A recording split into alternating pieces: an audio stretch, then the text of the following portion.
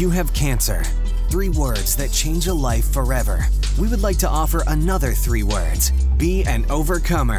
Welcome to the 1% Podcast, where our conversations with other cancer warriors, survivors, and caregivers allows us to give you that extra boost you need to face your challenge head on, live life from a new perspective, and forge a path that keeps you moving free and clear. Now, welcome your host and cancer survivor, Truett Taylor.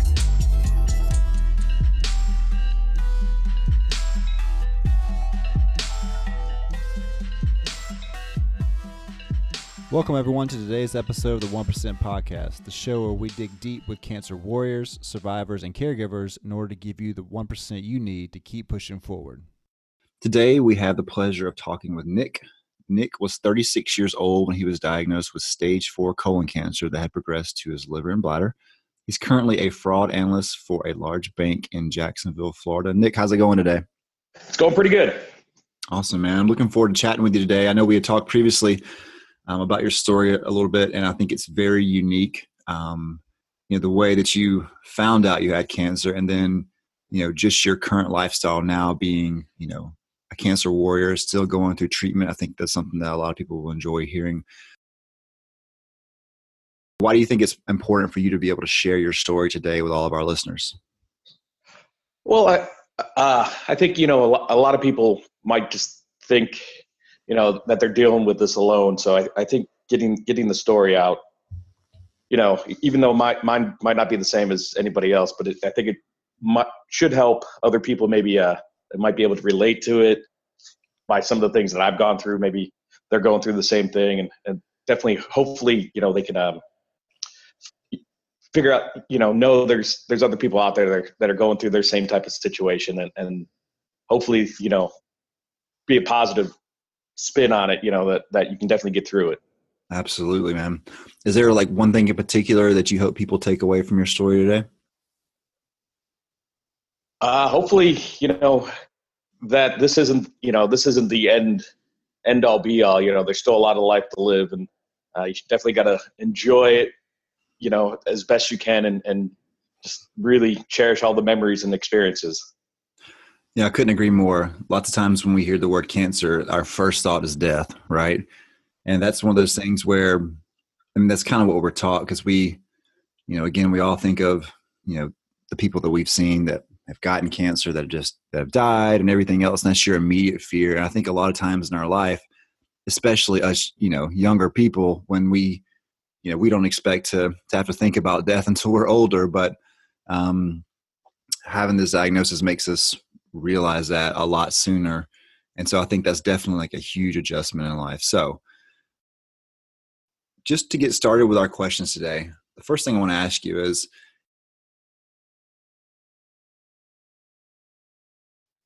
Can you tell us a little bit about your life prior to your diagnosis?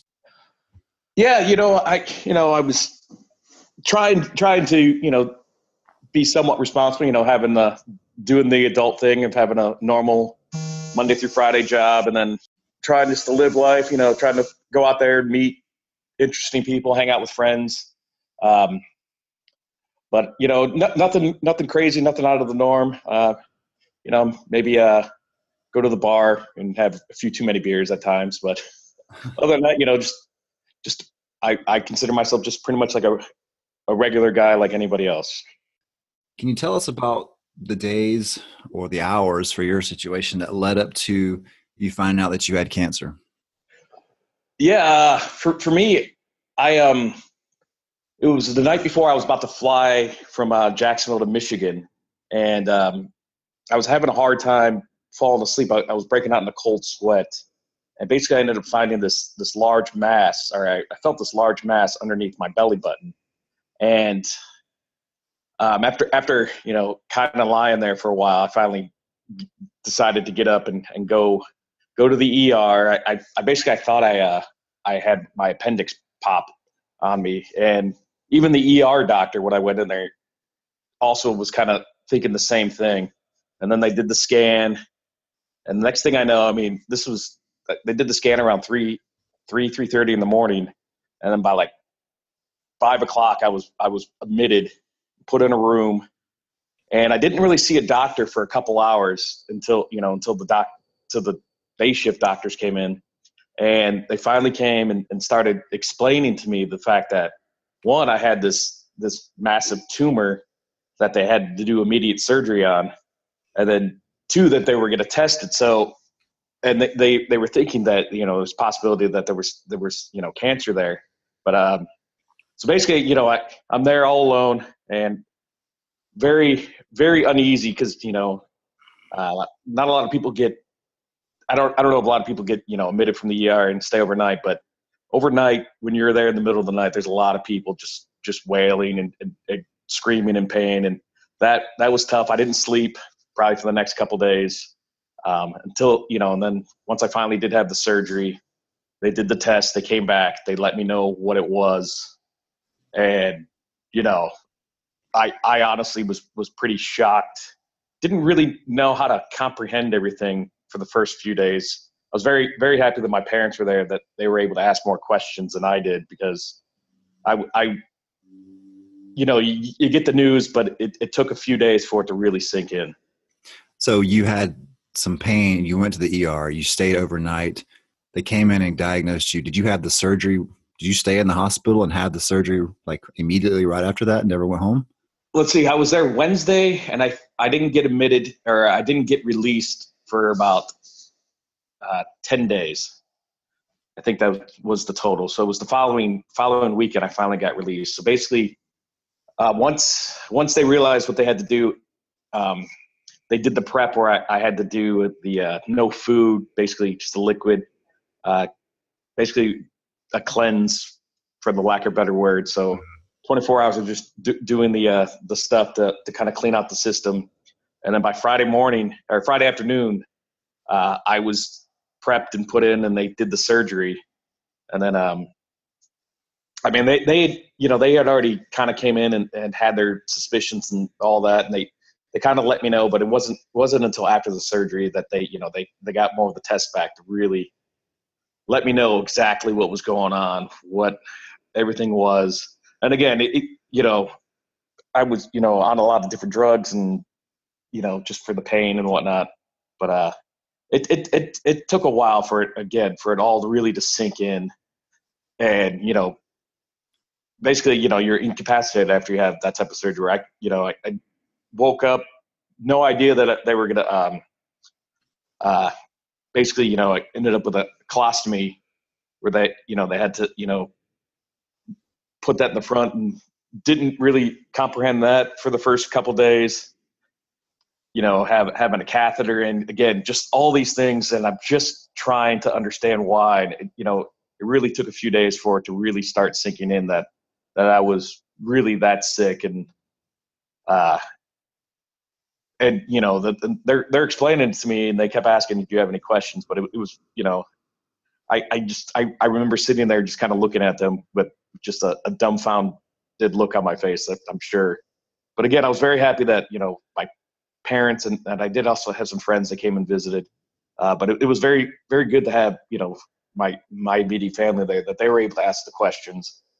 So later, then I was able to better understand and comprehend, and then I was able to ask the questions to the doctors later. So what a it, huge it, yeah, what a huge change of events. You know, you were thinking you all of a sudden went to the ER, and next thing you know, ten days later, you've had all this happen. And just listening to you talk it sounds like you know even to this day it's still kind of hard to imagine you know you you you go in with abdominal pain and then you know several days later you have surgery and you have a colostomy. And i know that's that's a huge you know i would say that's a huge mental blow in a lot of ways when you look down all of a sudden things are, are wired a little bit differently than they were before um, yeah, yeah. that that that experience alone, that's that's that is mind changing. Uh, and, and, I mean, unless you have it, I mean, it, it's really hard to explain to to anybody else that exactly you know how that feels and how that works, and really, you know, it's it, it is it, it's it's definitely a life altering.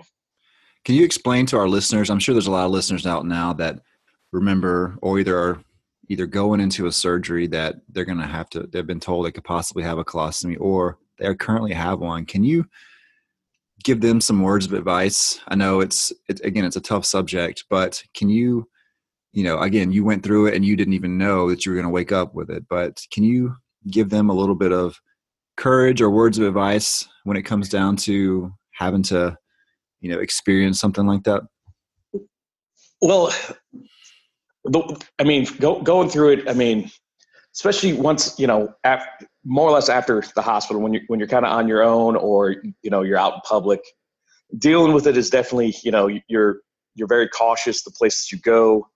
You kind of want to be closer to bathrooms. Um, honestly, you know, you, you, gotta you gotta make sure you definitely change up things that you're eating. If you know if, you ate, you know, say spicy food, you know, gave gave you a problems right away. I would I would recommend avoiding spicy food.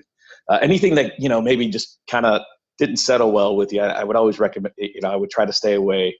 Uh, you got to keep that area clean. Um, the other thing is, it's not like it's not like you're able to really you know control what's going on. So you just it it, it is hard, but you kind of have to accept that hey. You're going to be making some unusual noises at times that that you, really can't explain. So uh, it might be embarrassing, but you know, it, it it's not it's not the worst thing. It you know, if, if you happen to make a noise and it's a really quiet situation, it, it's it's just part of life. So you, the, the, way I look at it, hey, if you can't if you can deal with uh, you know, passing gas and and, and that that type of humor, I, I kind of use that.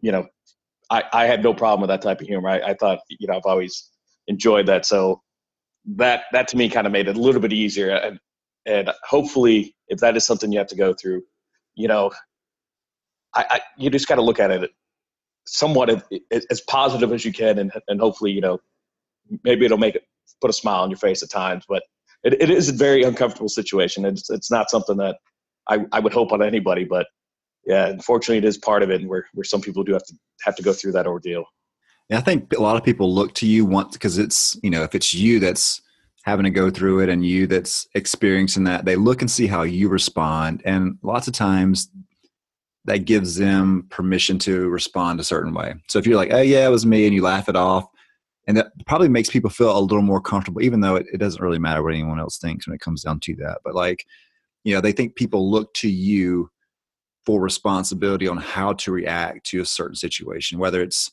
you know the colostomy whether it's you having cancer whether it's um, anything else that you have going on in your life people tend to mimic your response.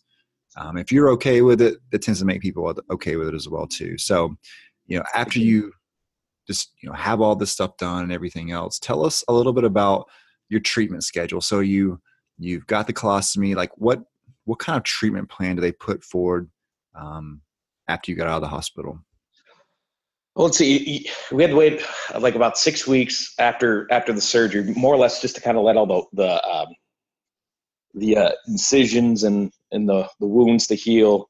Um, then then it was basically a a two days every other week type treatment plan where um, I was getting multiple chemotherapy uh, uh, medicine, and, and I actually got a a port put into me. You know, a, a day or two after I had the, uh, the the tumor removed, they decided to put a port in my chest as well. Which basically, you know, that way they can they can put you know put the uh, medicine right in there. It's a lot easier than having to go through the veins of the arms all the time. Uh, so basically, I'd go in on a, like a uh, Wednesday, and I'd be there probably for about six to seven hours, uh, get, getting medicine, and then I would leave, getting a uh, with, with a, a little machine that uh, was was you know I was still I would be getting medicine for 46 hours with this little machine, which um, that that is really it's it's it's pretty uncomfortable because basically you know you got to try to figure out it's like a little fanny pack type thing or or even a purse. But you got to try to figure out how to uh, maneuver that, especially when you're trying to sleep. So a lot of times I just wore it as a fanny pack. I I would just you know sit in a recliner and sleep in a recliner most of the time. And then I go back on on on the the after 46 hours I go back in. They would take that out and I would get another two or three medicines. Uh, and I was getting a lot right at right at the beginning, and um, it actually it was about I think it was finally you know nine months of get, of getting the same regimen, and it showed really positive responses. Everything you know um, was was getting smaller right away. Uh, it, it had such a good response that um, nine months after having, I was able to have the uh, the colostomy reversed. So I was able to get that surgery, and you know, I was finally able to uh, use the restroom properly, which which was huge in my mind. But uh, but yeah, yeah, the treatment, you know, uh, a lot of times, you know, you, you just got to try to keep keep yourself entertained in there. I, I know my my treatment center that I go to, it's uh you know they have four recliners in there, so there's a lot of times it's it's, it's a full house where you'll see other patients getting getting treatment for whatever whatever they're going through. But um, yeah, mine was mine's about you know two times or, or two days every other week, and that's actually my same regimen currently. What drugs are you, are they giving you right now? Uh, right now, let's see. Uh, I get Erbitux. I get actually get that every Friday. Um, I get that, and I think they also do magnesium. And then um, uh, the uh, the five FU is the one that I, I take home and, and get. Uh, that that's through the um, the, the port machine. Um, and you know, I'm, I'm drawing a blank on some of the other names. Unfortunately, they're really a lot of times they're long, and and I, I they they've stopped medicines, they've started different ones and I am drawing a blank on, on the two that I get on Wednesdays. Uh, I, you can get that I, chemo brain pass on this one, okay? Yeah, yeah. I'm sorry. I, I, I, would I would love to recall right off the top of my head, but but again, it's you know you get all these different ones, and the one that that I don't like right now it's it's, it's the Erbitux just because it makes you sensitive or it makes me sensitive to the sun. So mm-hmm. that's that that one I remembered. So because that, that, one I, I do a lot of research on to try to figure out different ways to uh, steer off some of the side effects. Gotcha. So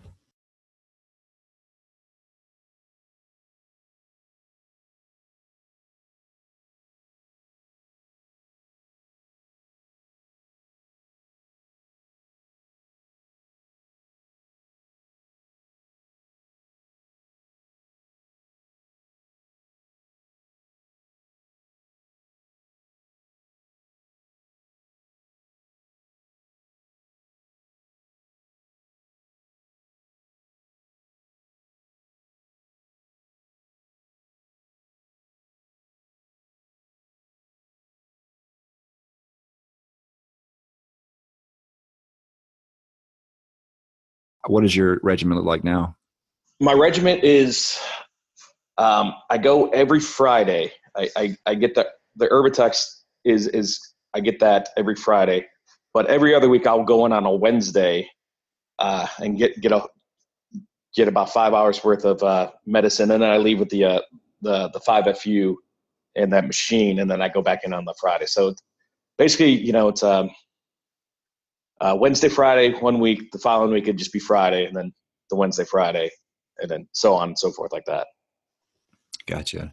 So as you're going through chemo and you're working a full time job, I'm sure along the way people have said some things to you, whether it's good advice, bad advice, or just overall, you know, trying to console you in some ways. What's the the best and worst advice you've gotten so far? Uh, probably the best advice was somebody somebody I didn't even know. Uh, they were calling uh, in regards to um, like you know getting getting me some some medicine, like they were sending it out, or somebody through my insurance, and we ended up talking for like you know 10, 15 minutes, and throughout our conversation, she was like, I, I I'm so impressed of my attitude, like during the call, and she's like, Hey, if you're going to continue, you know, with such a good positive attitude you're you're gonna you know get through this with no problems and and for me that you know that that was something I needed to hear, especially from somebody you, you don't even know, saying, "Hey, you know, I always consider myself having a pretty good attitude, and and I, I like to think that that that that definitely helps." But hearing that was was really really great. But um, probably probably some some of the worst is is is just the people that it's not so much advice; it's it's the fact that they come up and go, you know, my uh, like they would say, like my mother had cancer. she's died. She died. It's like, thanks. You know, I, I appreciate that positive, you know, story you just told me. You just, yay. You know, it, there's a lot of people that just, like, like you were saying earlier, they hear the word cancer and it, and it becomes very much a negative thing, or they just tell you the worst possible things about something that they they didn't even go through. It's usually somebody they knew through a friend or you know maybe one of their relatives, and and, and it is unfortunate that some people do have bad experiences from it. But you know, I, I try to you know I just shake my head and I'll, I'll smile and nod and and just kind of let it just kind of you know in one ear and out out the other a lot of times. But it, it, it is one of those things where you know it, it is a lot of people do want to try to say something to you. Sometimes they they don't know what to say, which is fine. Uh, but you know you, you do get a lot of different type type of advice. Some good, some bad, but it it's it's definitely it's definitely better when uh you can talk to somebody that ha- has gone through that that experience or, or really was close with somebody that went through the experience. Is there something you recommend people to say to people who have cancer? You know, to, to me, the, the best thing that anybody says, and, and, and, you know, a lot of times you don't take them up on it, but it's like, hey, you know, I, I, I, I a lot of, if they say, I, I couldn't imagine what you're going through. If you ever need to talk, you know, I'm always here. And to me, that would be the best thing because they're not really, they're not trying to put themselves in their shoes or in your shoes because you know they they set it up front. They they have no idea what you're going through, but you know they're also willing to say, hey, if you if you need to, you know, either vent or or just talk about it, that they're willing to listen. And I I think that that would be the best thing for for anybody to say because you know it shows that you know that that you're that the other person's willing to you know take the time listen and who knows they might they might not be able to give you any type of advice but at least you know sometimes just listening is just a, a, a huge because you know things do build up and and uh, it, it's it's very nice to have a release.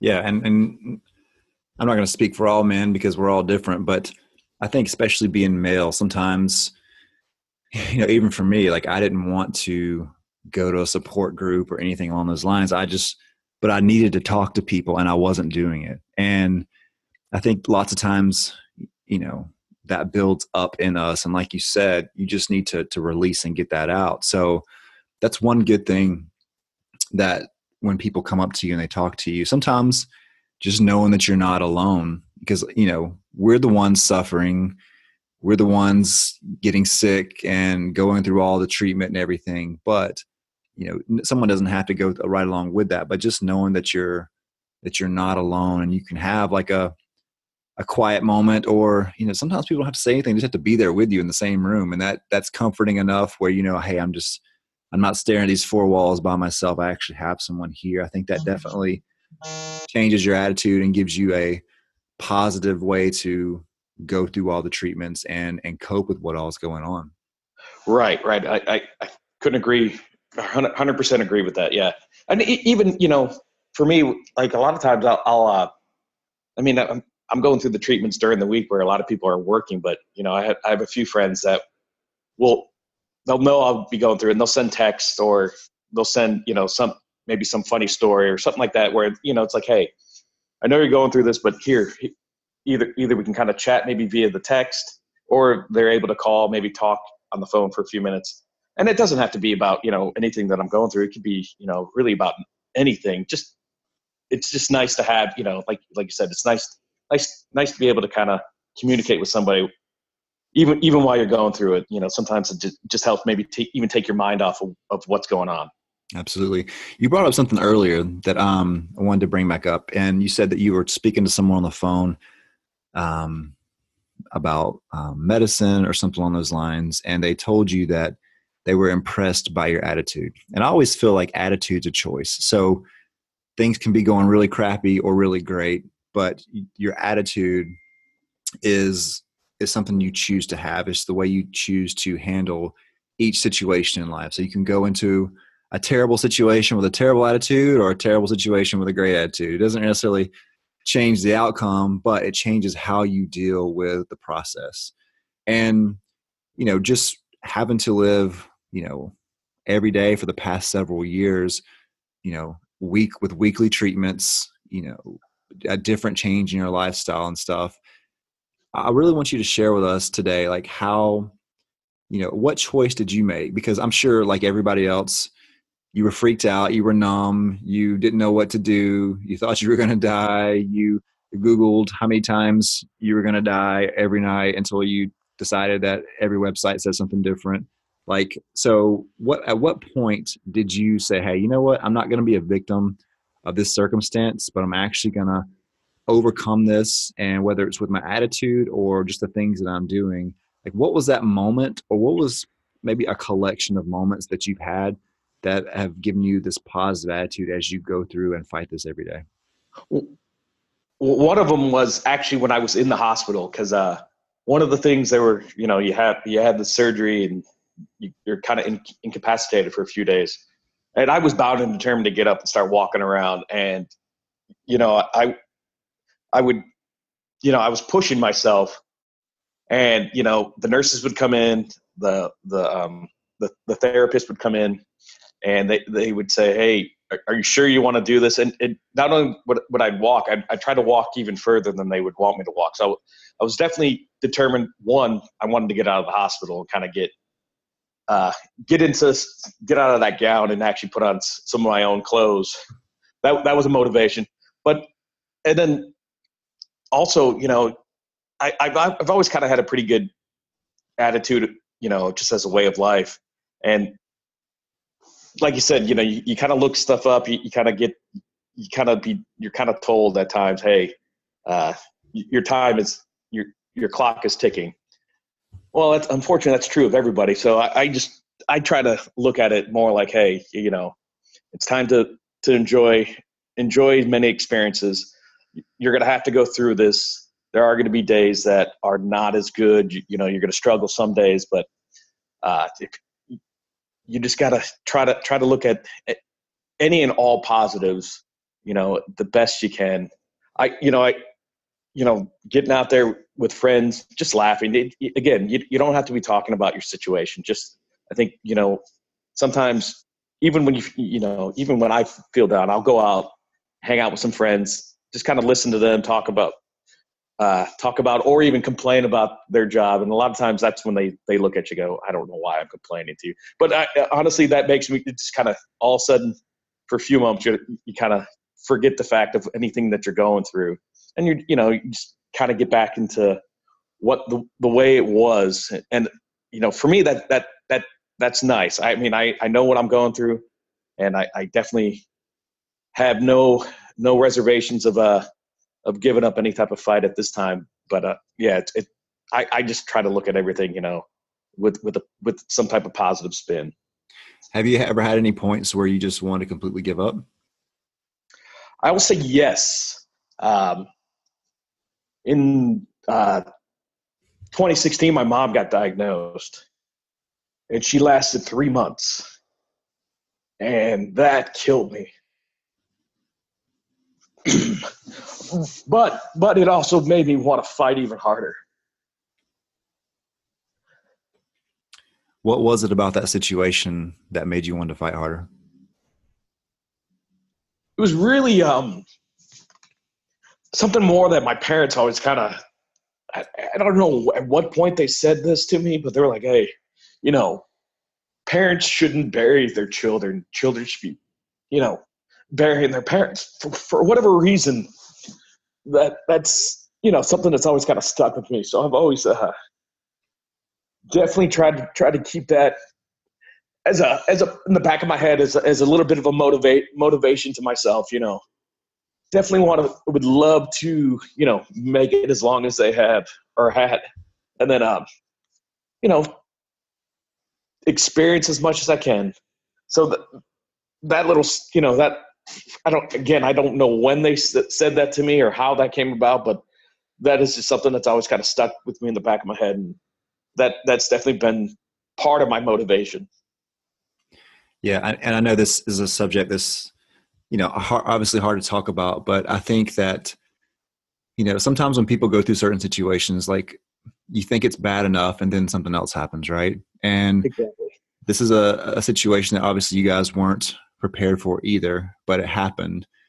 But you know, it's one of those things where, you know, I've had similar situations happen to me. Unfortunately, I lost I lost a brother um, unexpectedly.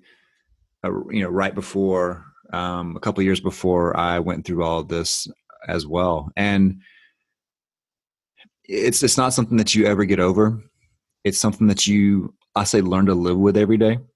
Right. And um, losing a family member, losing someone close to you, it it it always opens up like a, a wound that you can that you can only put a band-aid over i would say. There's nothing that's ever going to heal that wound but you know something that your, your quote that they you know that one of your parents had told you about you know not burying a child you know before you bury a parent kind of thing like the very th- the very fact that that's something that internally motivates you to keep fighting every single day i think is is huge because those moments where you do want to quit and you do want to give up, you know, everybody has a tape recorder in their head.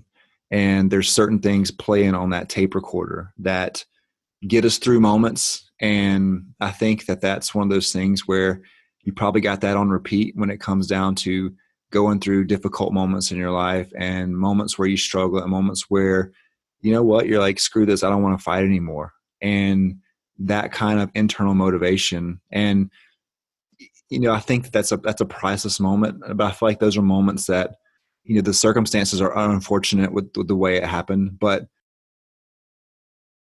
but you know god gave you something from them to keep pushing you through the moments where you didn't want to you didn't want to continue on. And i think that's a huge gift that you have and something that you know will continue to carry you forward as you as you push through your life. And because you know cancer doesn't affect just one person it affects everybody that loves you. And all the people that are around you and everything probably see you as a huge motivation. And even like you said earlier when people are complaining about their jobs like like wait a minute you know nick's over here and he's got a lot more that he's experienced and he's currently experiencing so you're putting people's life in perspective without even knowing that. And, you know, you're carrying with you, you know, some words that of wisdom and some motivation, you know, from your parents that are going to keep pushing you along. So I think that that's a, a super real moment. And again, I know it's a difficult moment to talk about and share, but those are the moments that we all need to realize as Uh, just a collection of people that we're not in this alone. There are people that are going through this and there are people who've had unfortunate things continue to happen while they have cancer and life still moves forward but it moves forward completely different. And you're you're choosing every day to have a positive attitude. And i know it's hard man. Trust me i know that you have you're like enough's enough kind of moments and stuff. But the very fact that you have strength to continue to go through this because you know as of as of today you know your story is not over yet with cancer. You still continue to fight. You're a warrior man. You have to continue to fight through that.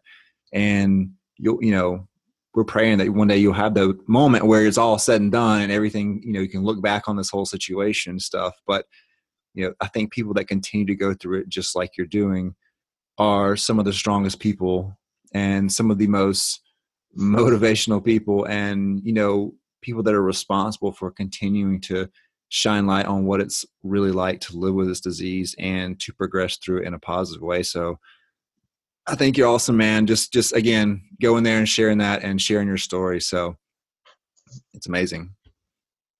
I appreciate that. Yeah, it's it's going to be tough. My dad is pretty healthy for 71, so I think he's going to be on. He's going to be going for a while, so I'll have to try to keep up. awesome. So just as your life so i feel like there's like a pre-cancer you and there's like a post-cancer you because your whole perception perception changes in life. Um, can you tell everybody how you've adjusted to your new lifestyle? So you you know you constantly have to wear the um, the port with the the chemo drip on it and things like that and how do you work with that? And how do you handle like a normal going out and dating and eating and you know all those friendships and stuff like that? How do you handle that um, or how have you adjusted to that lifestyle um, that you're currently living right now? Uh, you know, you know, I, I still honestly the, the, the you know, I'm, I'm trying not to let, you know, cancer hinder hinder me going out, experiencing life, hanging out with friends. Uh, you know, when it comes to eating, you know, I, I do try to eat better, but obviously there's where weekends happen and you know pizza gets shoved in your face. So, I, so I, I, definitely try try to try to be somewhat good, but you know, I, I I'm conscious of you know I try to be conscious of, of what I'm eating, um, and you know, but usually when I'm you know I I usually will wear the port kind of as a fanny pack, and you know I was happy to see that the advertisements that fanny packs are, are kind of back in. So I, I feel like I'm a trendsetter. There you go. And, uh, yeah. So, you know, I, I, I, don't do a whole lot when I have that. You know, I, I go to work. I, uh, I, might go meet some friends, do like trivia or something like that. But uh, I, usually when I'm wearing that thing, I, kind of try to, you know, just kind of be low key. But uh, a lot of times, you know, I, I'm I'm trying not to let this thing do do change change too much of of my regular day to day. Obviously, going to work, uh, coming home, and, and you know, and trying to continue to enjoy enjoy the little things. Awesome. Do you, you know, as far as advice for people, um, can you give people, a, a, I guess, a piece of your advice now, or someone listening needs to hear this, obviously. So, what is like that piece of, and, I, am calling them one percent moments, where you've you've discussed them already, where you've you fought through this. Like, can you give people a piece of advice on how to um, I guess, cope with their their lifestyle as they continue to go through cancer treatments? Wow, that's all right. Well, I, I, I would I would say say this. You know, you're you obviously when you're going through this, you're going for through it for a reason. You're, you're you know you're you're trying to continue continue living. So they, they might it might hurt you know it's it's going to make you tired. Uh you know you're going to be exhausted. There's going to be you know when you're going through it it there's there's just going to be some some you know you might have some self-doubt at times but you, you got to kind of have to push through. And some of the things that i you know i've been doing is is you know making you know little trying to trying to set up like either vacations or or you know events you know people people friends getting married different little things like, hey, I, I want to be my healthiest and, and try to try to make it to this day and, and so on and so forth. I mean, obviously these are little minor goals for me, but and, and there are there are the larger goals at, in the end, but I you know, it to me you just you gotta you gotta try to remain as as positive as you can about it. Uh, you cannot let it get you get you all the way down and there, there's a lot of life to still live and there's a lot of experiences out there. You, you just gotta be willing to, to kind of go through it and then and then try to enjoy all those other things. Yeah, it sounds like you your advice is to give people something to look forward to. You know, planning a vacation or planning an event or planning a weekend trip or planning something where you actually can look forward to it for a couple of weeks or a couple of days ahead of time to kind of give you something to to focus on versus just the current situation of the day. Does that sound about exactly. right? Exactly. It, it, helps, you know, gives you some mo- some type of motivation to, to, you know, get to that point, to, awesome. to that, to that vacation or, or, you know, that, that trip in the mountains or what, wherever it is or whatever it is. Yeah. Well, Nick, you know, again, your whole story, when we first spoke a couple months ago, I knew that your situation was real unique and again, you know, cancer survivor stories are awesome. I have one. A lot of people have one, but cancer warrior stories to me um, really speak volumes about the person that's currently going through it and their just their overall perception and stuff. So just you know, from you being diagnosed, you know, at 36, all of a sudden an ER visit where you have you, you find out that you, you're in the hospital for 10 days and get the stage four colon cancer diagnosis to the situations where you're you know with your mom and then the day-to-day treatment and just living a lifestyle you know just just going through all of that man i think you know and you're a rock star man for being able to go through that and more importantly being able to talk about it as well too because i know that's not the easiest thing to do so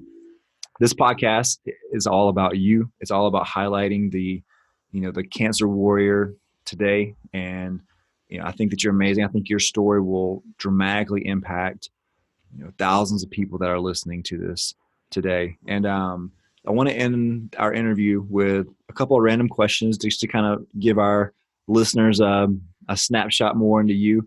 Um, can you tell us two things that motivate you? Ah, sure. You know, you know, family and friends. I mean, the, basically, you know, they're the reason to continue on for me. You know, they're the most important people that you know, most important people to me. So they they're they are my main motivational factor. Awesome. Do you have any supplements or products that you recommend um, that have kind of helped you get through? You know, I, have done a lot of different things. Uh, really, to me, like the multivitamin type uh, uh, pills, or, or you know, like I've been on a uh, like a, Propel type kick where you know I just add the Propel stuff into regular water. Uh, that's really been it. You know, I, I've asked my doctor a few times about other things, and she says yay or nay. And but but really, to me, I just I've been trying to do a lot of like multivitamin type stuff. Yeah. What's the last book you've read? Oh man, it was a, a Tim Dorsey book, uh, Stingray. Oh my gosh. He's a he's a he's a Florida writer where he basically goes around to different uh, little cities within Florida and kind of goes into the back alleys and then writes about. It's really demented. He writes about uh, this this uh, crazy serial killer and then also the detective that's trying to catch him. It's about at least a dozen books or so, but it's it's pretty entertaining. Awesome. Do you have a favorite recipe or food? I know you said pizza earlier. What do you what do you usually get on your pizza?